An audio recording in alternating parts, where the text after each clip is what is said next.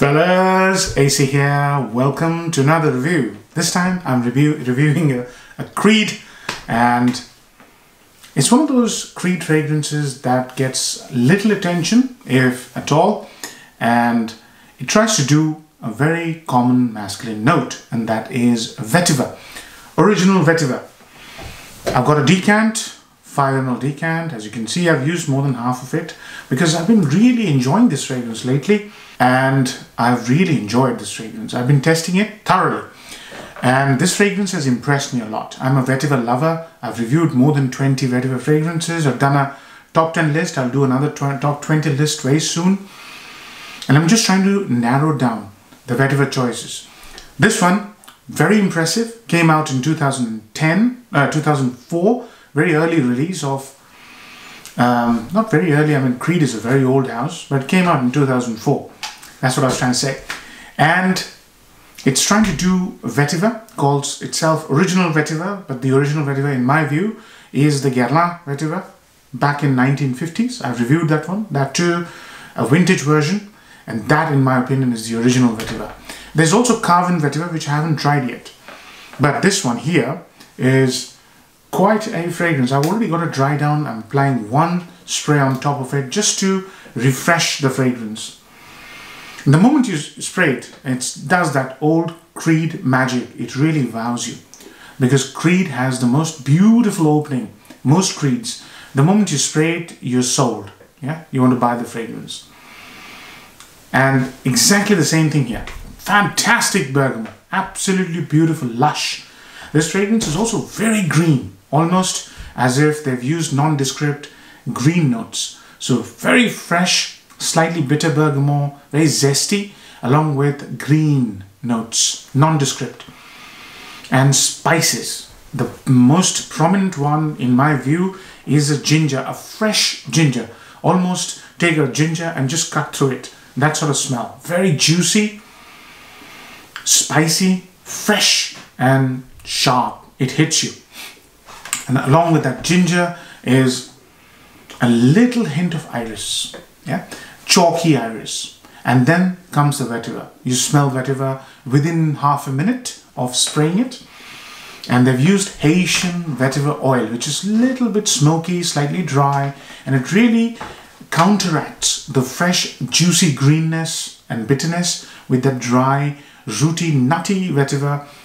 And it's a beautiful counterbalance, along with a very nice chalky um, iris. When the fragrance uh, dries down, or starts to dry down. In about 20 minutes time, the vetiver and the iris become the prominent note, ginger in the background, and little sweetness, just a hint of sweetness. And I think they mentioned orange, maybe it's orange, I don't get any orange orange, but that bitterness of bergamot probably is maintained with the rind of orange, and it's very nice, no sweetness, just a gentle hint of sweetness, I believe, I would say and green nutty vetiver. It smells like lush meadows, fresh clean air, beautiful, very natural, extremely well made. Fragrance in its dry down becomes very ordinary. Yeah, so it loses all the beautiful vetiver, ginger, iris, and it becomes like a shell of a scent with musk, clean musk, and it's not very expensive it's normal musk that you get in shops. So it loses all the brilliant qualities and becomes, they, they're there, very faint. It becomes a musk scent. Uh, I don't get any ambergris, although ambergris is mentioned. Maybe I get a little bit of ambergris here, the saltiness of ambergris. Salty, bitter, dry, nutty, that's the fragrance.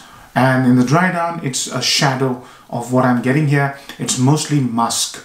And that too very, very uh, accessible, available musk. It's not very expensive animalic musk. No, no, no. It's a little bit dirty, but it's any white musk, you know. So dry down is a little bit, little bit disappointing, but I'll come to that in a minute. The, so the fragrance in a nutshell is a very, very natural smelling, high impact fragrance. That's number one pro. So pros and cons. Number one pro, natural smelling, very high impact scent. And I'll give you a little story on high impact. Recently, I was in a meeting. Since I've been testing this out, uh, it was an external meeting with one of my customers. And two people in that meeting, I already know them. They're very transactional. They're very matter of fact. Point is not very friendly. Um, and I was representing my organization. They were coming from the client side. And there's a third person who was not in the meeting, uh, who I'm very friendly with. So he was not in the meeting. So these two people were there. Before the meeting, I was just curious. So I just sprayed two on my shirt and I went to the meeting. And the first time I saw both of them smile. So that was quite, quite a eureka moment. And that shows you the power of smell, scent. It is one of those fragrances. It's so natural smelling. It takes you to a beautiful meadow, sunny, that kind of an environment. And I saw them smile and I knew immediately that it's my fragrance and my personality doing the impact. And it was a it was a transactional sort of a meeting, but it turned out to be a very good meeting. And I came out of the meeting thinking, that's the power of scent. And this one has that sort of an impact on people. If you want to make an impact, if you're going for an interview, I would highly recommend you carry a little decant straight on your shirt and go in. I, I think you will not fail. First hand experience. And I'm very experienced with fragrances. I know when a person is responding to not only my personality, but also the scent. So this is a high impact natural smelling fragrance. Two very good positives about this fragrance. Now the negatives. The fragrance is so spectacular when it starts and so uh, ordinary when it dries down. Yeah. So it loses all its charisma in you know lifespan of the fragrance and then it's dry down it's very ordinary it's a musk slightly green um, iris vetiver combination but mostly musk so for me the dry down was not very impressive and as you know dry down is what makes a fragrance you know you can you can have an ordinary opening you can have a slightly boring middle but if you have a solid dry down because it stays on the skin longest a fragrance is remembered by its dry down. So that's the downside. The fragrance is very ordinary when it comes to its dry down. Number two, value for money. Creeds always have this problem. Excuse me. Uh, this thing is worth 250 pounds for 100 ml. Vetiver is flooded in the market. Vetiver is one of the most available notes for men's fragrances. You can easily get brilliant vetiver fragrances for a quarter of the price. One being Guerlain vetiver. It's a knockout vetiver scent. So there's no competition when it comes to vetiver from original vetiver. Original vetiver doesn't make a dent into the market with its price point. So those are the two downsides. Now age groups, any age group. This is such an elegant and beautiful fragrance for whatever lifespan it has and I'll come to the lifespan in a minute.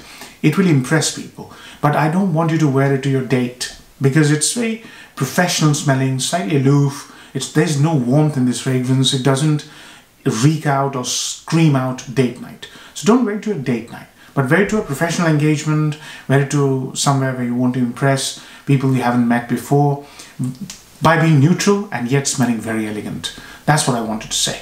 Age groups 20 to 60, not a problem. Occasions, I would say daytime. It's a daytime scent. Um, professional, semi-professional seasons. I've tried it in spring, summer, now I'm reviewing it in autumn for a reason. In summer, the musk smells a little bit more dirty, so when it's really hot. So I would avoid it when it's seriously hot and when you are going to sweat. Sweat mixing with musk can create some unpredictable outcomes, so I would say avoid it. Autumn is the best season for me because of how the iris, the chalky iris, little hint of sandalwood as well sometimes, and ginger and vetiver combined, they create this nice little dusky um, sort of a scenario, if you like, dusky orangey scenario. So, yeah, this is an autumn scent in my opinion. It suits autumn the, the most. Um, compliment factor, huge, huge compliment factor, but not from ladies, from people you haven't known, people who, who you know, but um, basically are acquaintances or friend fresh fragrance right? It's very natural very zesty and fresh. Such fragrances will get you a compliment. So compliment factor is massive. I told you my story. I wasn't complimented but the smile and the, their behavior the way it changed uh, just left an indelible mark on my psyche i was like yes this is a high impact fragrance so value for money oh performance let's talk about performance the fragrance projects a lot for about half an hour and then it becomes um, closer to your skin, closer to your shirt. I would recommend you wear this on your shirt. It uh, shines a bit more when you wear it on your fabrics. Uh, skin, that musk is what um, could be a spoil sport mixing with sweat. So I it on my, on my shirt. So projection half an hour to one hour. Decent, one and a half arms length.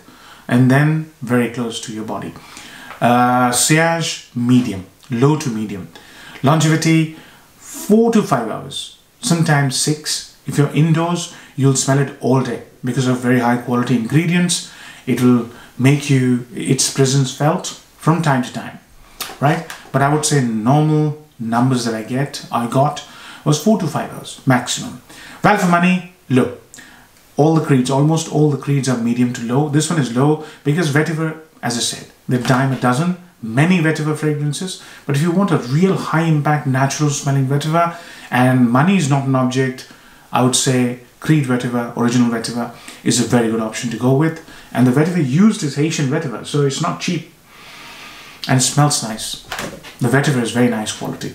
So, excuse me, marks as 10, 7 out of 10. I think it's a fair assessment. Hope you enjoyed this review, fellas. Take care. Bye-bye.